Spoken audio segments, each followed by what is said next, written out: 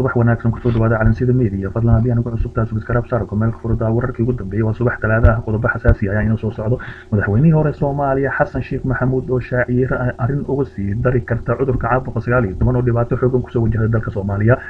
sidoo kale xisbiga madasha qaran ayaa indhaha u shitay dowladda federaalk soomaaliya islamarkaasina gogaabiyey madaxweynihii hore soomaaliya mudane xasan sheekh maxamuud ayaa ka hadlay xaaladihii ugu dambeeyey cudurka caabuqa sagaal iyo toban xilli shalay la shaaciyey in lixdan qofood laga helay. Ugu horeyntii wuxuu dadka soomaaliyeed ugu baaqay inay qaataan dalooyinka caafimaadka si loo yareeyo faafidda cudurka caabuqa sagaal iyo toban oo iminka lixdan qofood sii marayo waxa uu yidhi xasan sheekh maxamuud alle ayaan ka magan galaynaa cudurka halista ah ee bulshada kala duwan ayuu dhibaato u geystay. Xitaa xaramkii ayaa loo xiray sababtu waa in aysan dadka u qaadsiinin yaan la yaraysanin dalooyinka caafimaadka waana xalka ugu fudud ee looga hortagi karo. Fayruska caabuqa sagaal iyo toban si gaara waxa aanu fariintaani la wadaagaya ayuu yidhi dadka goobaha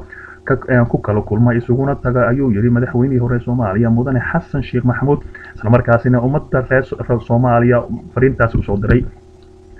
sidoo kale wuxuu intaasi ku daray inuu cudurkani faafayo marba marka ka sii dambeyso isagoo sababta ku sheegay inay yar tahay feejignaanta dadka soomaaliyeed ee iminka ay yaraysanayaan ayuu yidhi xanuunkani. Xasan sheekh maxamuud ayaa carabka ku dhuftay in weli ay dadku isugu tagayaan hoteelada goobaha aroosyada maqaaxidaha iyo meelaha meelaha ay ku kulmaan bulshada ayuu yidhi cudurkani waa uu sii faafayaa waxaa yar feejignaanta dadka waxaana ay isugu tagaan ayuu yidhi hoteelada goobaha aroosyada maqaaxidaha iyo meelaha ay ku kulmaan bulshada. Waxa uu yidhi xaramka alle ayaa dad badan isugu tagay ayaa loo xiray in aysan dadku isqaasiinin sidaasi awgeed cudurkani ma sahlana yaalan yaraysan ayuu yidhi ducada hala badiyo waana xalka keliya ee looga hortagi karo ayuu yidhi madaxweynihii hore soomaaliya. Xasan sheekh maxamuud islamarkaasina xoojinaya wacyigelinta dowladda federaalk soomaaliya u muujinaysa shacabka hadalkani ayaa ku soo aadaya iyadoo wasaaradda caafimaadka soomaaliya ay shaacisay kiisas cusub oo cudurka caabuqa sagaal iyo toban taas oo tirada ka dhigaysa shan iyo labaatan qofood kaalinta ugu jirto islamarkaasina lagu daray soddon iyo shan qofood lixdan qofood ayuu isku tagay. Dhinaca kale war xasaasi oo ka soo baxay xisbiga madasha qaran oo war muhiima ka soo baxay kadib markii xalay oo shir deg deg iskugu yeeray ama saxaafadda u yeeray madaxweynihii hore soomaaliya sheekh shariif sheekh axmed islamarkaasina ah gudoomiyaha xisbiga madasha qaran war-saxaafadeed ka soo baxay madasha xisbiga qaran ayaa talooyin dhowr ah loogu jeediyey dhinacyada dowladda dhexe shacabka ganacsatada iyo beesha caalamka. Ugu horeyntii madasha ayaa dowladda federaalk kula talisay in wixii taag iyo tabar ah geyso la tacaalidda ka hortaga cudurka caabuqa sagaal iyo toban islamarkaana abaabul xoog leh ee ku sameyso qaybaha kala duwan ee bulshada si loogu mideeyo cudurka. Shacabka looguna hortago faafidda cudurkani si kastaba haatee xilli maanta xilli shalay ay soo bixaysay war sheegaya in wasiirkii hirshabeelle u dhintay bilaa bilaa ogsinjiin la'aan ayaa iminka xisbiga madasha qaran waxa ay sheegayaan tallaabooyin wanaagsan inay dowladda qaado sidoo kale xisbiga madasha qaran ayaa dowladda ka dalbaday in ay ka howlgalaan sidii loo keeni lahaa guud ahaan dalka. Agabka caafimaadka ee lagula dagaalayo faafidda xanuunkani ee cudurka caabuqa sagaal iyo toban sidoo kale dowladda ay iskaashi wada tashi ah ay la sameyso hay'adaha dowlad goboleedyada si wadajir ahna looga hortago faafidda cudurka caabuqa sagaal iyo toban oo iminka u sii kacaya qoraalkan ka soo baxay madasha ayaa dowladda federaalk loogu dalbaday inay canshuur dhaaf loo sameeyo waxyaabaha waxyaabaha daruuriga ah ee sida raashinka daawada shidaalka iyo wixii la mid ah. Sidoo kale la badiyo xarumaha baarista cudurka caabuqa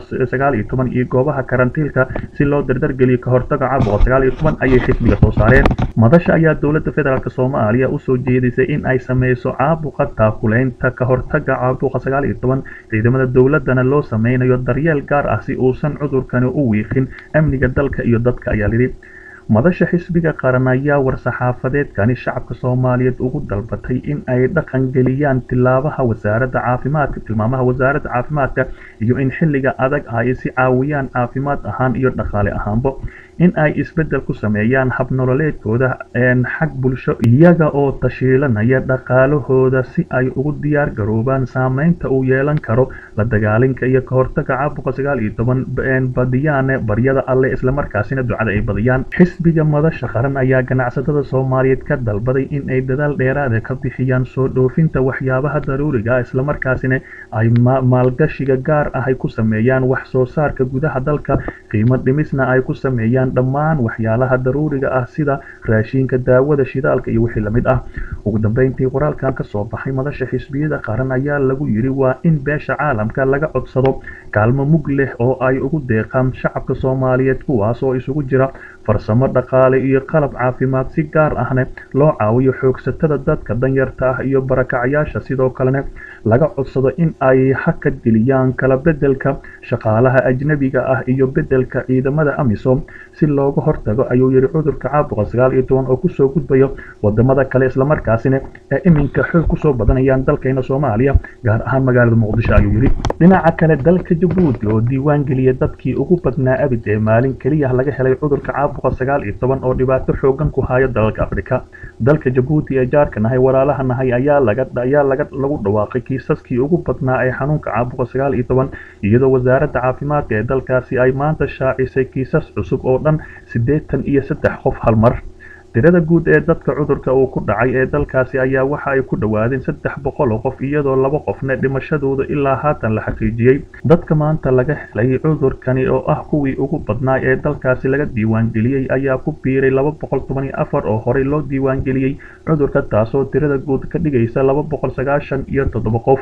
dowladda ayaa sheegtay in laba ka mid ahi dadkaasi ay u dhinteen cudurka caabuqa sagaal iyo toban halka soddon iyo lix kalena ay ka bogsadeen oo guryahoodii loo diray waxaana shacabka dalka loogu baaqay inay qaataan tallaabaha ka hortaga cudurka caabuqa sagaal iyo toban islamarkaasina ay ka hortagaan. Dhinaca kale madaxweynaha hirshabeelle waare oo amray dhaqangelinta awaamiirta maamulka hirshabeelle islamarkaasina war xasaasi soo saaray. Madaxweynaha maamulka hirshabeelle dr cabdi wa cabdi maxam dr maxamed cabdi waare ayaa ka hadlay saameynta cudurka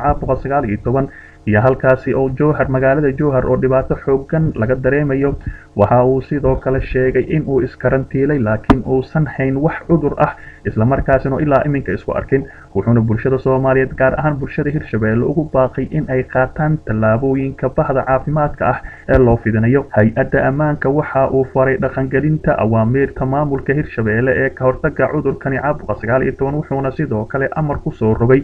jaadka laga iibiyo hirshabeelle ka yimaado xuduudda dalka etoobiya oo xoog ku soo galo maamulka maamulka hiiraan ee gobolkaasi hiiraan. Wasiir dowle ka tirsan maamulka hirshabeelle ayaa ka mid noqday dadkii ugu horreeyey ee cudurka caabuqa sagaal iyo toban ugu dhintay gudaha dalka soomaaliya gaar ahaan magaalada muqdisho. Waxa uu xusay in ay dejiyeen qorshaha loogu talagalay sidii looga hortagi lahaa cudurka caabuqa sagaal iyo toban oo iminka dhibaato xoogan ku hayo sidoo kale fadeexad oo ka dhalatay wasiirkii ku dhintay doraad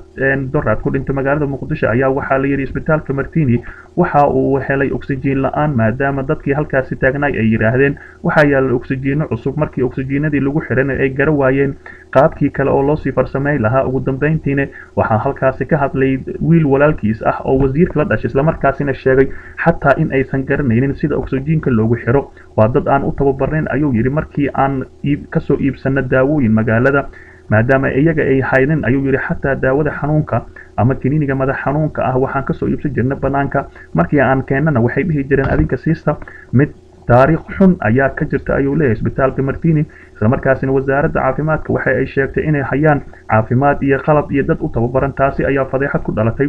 Si kastaba ha ahaatee qodobkaasi dib daba ayaan ka faahfaahin doonaa sida wasaaradda caafimaadka ee ugu fashilantay isbitaalka martini oo la doonaya in lagula tacaalo qof kastoo cudurka caabuqa ku soo dhaco ee magaalada muqdisho joogo